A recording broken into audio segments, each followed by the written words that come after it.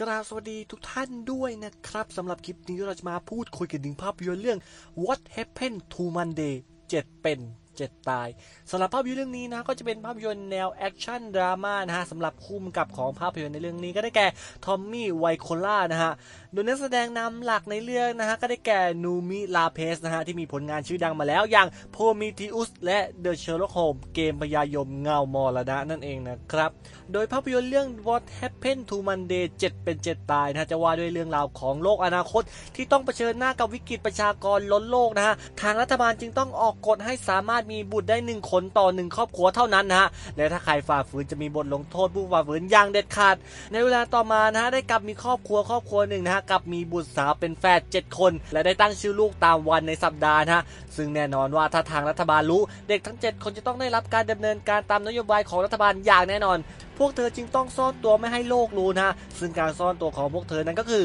แต่ละคนจะได้ออกไปยังโลกภายนอกตามวันในชื่อของตัวเองเท่านั้นนะฮะแต่ทว่าวันหนึ่งพี่สาวคนโตที่มีชื่อว่ามันเดย์กลับได้หายตัวไปอย่างลึกลับนะฮะทำให้พวกเธอต้องหาทางตามหาตัวพี่สาวของพวกเธอนั้นกลับมาให้ได้นั่นเองนะครับ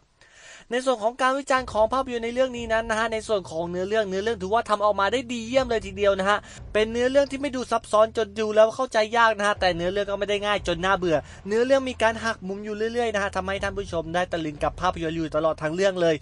ในส่วนของมูดแอนโทนหรืออารมณ์ของภาพยนตร์นั้นทำออกมาได้ดิบและดูจริงมากๆนะฮะยิ่งฉากบูแล้วนั้นยิ่งมีความดิบและเถื่อนเป็นอย่างมาก โดยภาพยนตร์เรื่องนี้จะมีการตัดสลับเรื่องราวในวัยเด็กกับตอนปัจจุบันนะฮะซึ่งจะอยู่ในช่วงแรก ถือว่าเป็นการปูเรื่องในช่วงต้นได้ดีทีเดียวเชียวเลยแหละครับและพอเนื้อเรื่องเข้าสู่ช่วงจุดเปลี่ยนนั้นภาพยนตร์จะพาท่านไปลุ้นกับแฝดสาวโดยไม่รู้ตัวเลยแหละครับ